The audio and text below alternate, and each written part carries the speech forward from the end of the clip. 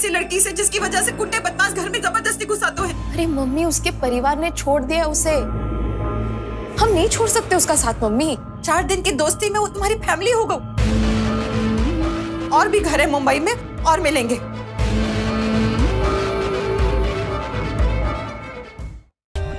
For more updates, subscribe to our channel, click the show links and enjoy watching the videos.